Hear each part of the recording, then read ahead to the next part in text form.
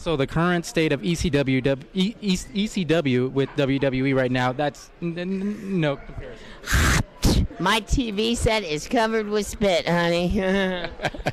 All right, uh, the mid '90s, you went to WCW. Uh, what are your memories there? okay, um, when I went to WCW, it was back to Medusa Land, and she had taken the WWF belt, something that I had wanted since the time I was little. And Andre the Giant was my godfather, and he said, What is it that you want? And I said, I want the WWF belt. So I was just a really little, little person then, and um, and everybody's a little person next to Andre, and um, and then in fact it was Vince Senior that was running it, and he was still Jean Ferré in Montreal, and um, and uh, that's all I wanted was to be a lady wrestler and to to get the WWW. W Federation's belt. And um, I wanted better things for women in this sport, and that's why I decided then to go with the mohawk and put the extensions in and go, uh, you know, do something in a world full of caterpillars. In a world full of butterflies, it takes balls to be a caterpillar because I got paid for being ugly and ugly acting. I was the female version of my Uncle Mad Dog Vachon. Well, I got to tell you, sitting right next to you, you don't look anything like you did in the uh, on set or, wrestling. You're beautiful. Oh, well, thank you. It's so nice of you to say that. But it's not true, but it's nice of you to say it. He's, he, he, he's just saying that because he's sitting next to me right now. I, I felt that it was to get, I wanted to get attention from rock and roll magazines, from walking down the street. Any way that I could possibly get attention, that's what I was trying to do.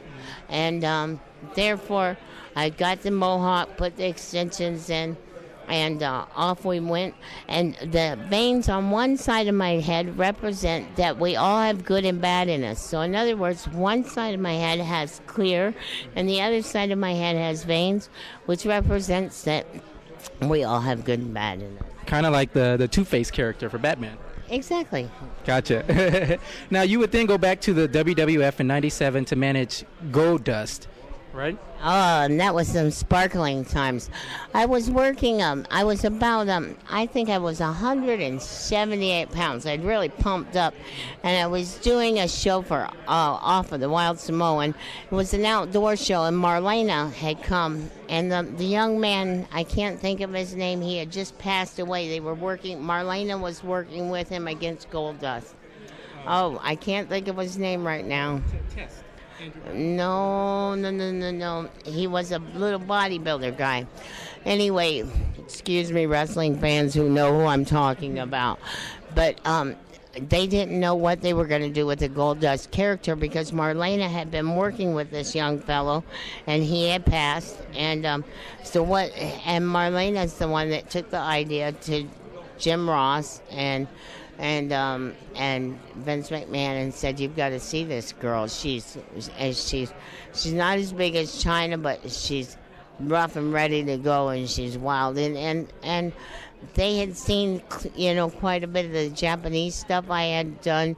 Uh, Dickie Slater had taken stuff up there, and I had mailed stuff up there from the Puerto Rican tours I had done, and and stuff. And they had seen what I had done in the past, so it was perfect for me and Goldust to be together. Right now, WrestleMania 14, you would then uh, uh, be a part of another WrestleMania uh, you, with Goldust, and you, uh, you're in the corner, Mero and Sable. What are your memories of that feud? Well, that was, I think I did a horrible thing for the wrestling business because Sable told me that she didn't have to learn to bump because she was going to be the next WWF champion. And the ABCs of pro wrestling is learning how to bump and to protect yourself and to distribute your weight properly so that you do not, uh, so that you can uh, injure yourself the least, to the least possible way by distributing your weight properly. And the bumps are the ABCs of wrestling.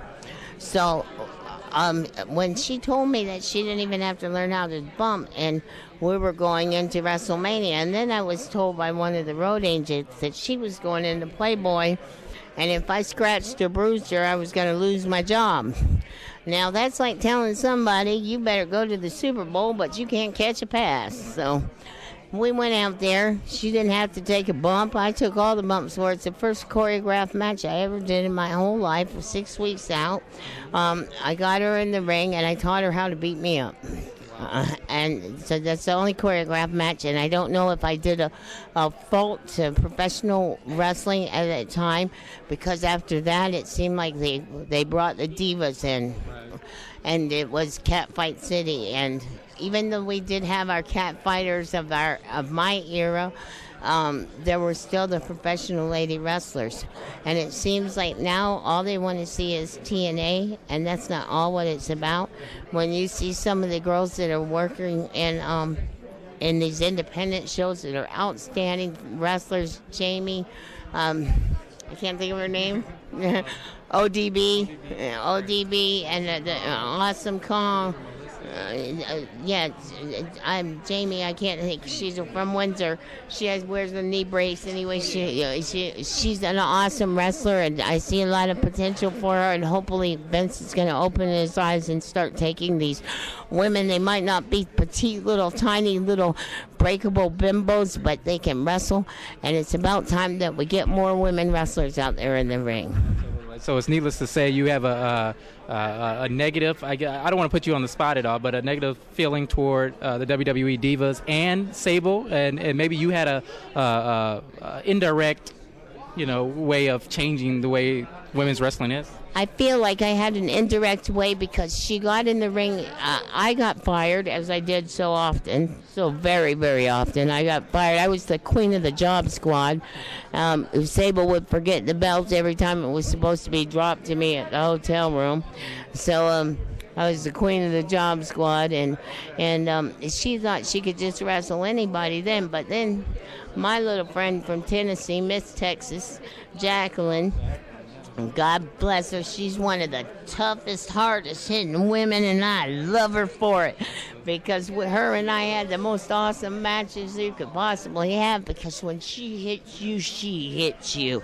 Well, she had about three matches with Sable before they were calling me back to go on the road with Sable because Sable wasn't going to take take that stuff, and Jackie certainly wasn't going certainly wasn't going to pull any punches. So. So, uh, any plans for you? Are, are you in the ring still? No, sir. I'm retired. I'm getting honored here at the Cauliflower Alley Club. I don't deserve it. I, I don't feel worthy, but it sure is. is well, since I never did get that WWE title, it's nice just to get on, just to be looked at in this kind of way. Thank you for having me on your show today. Anytime. Luna Vachon right here on OWW Radio. Oh, stay nasty. OWW Radio.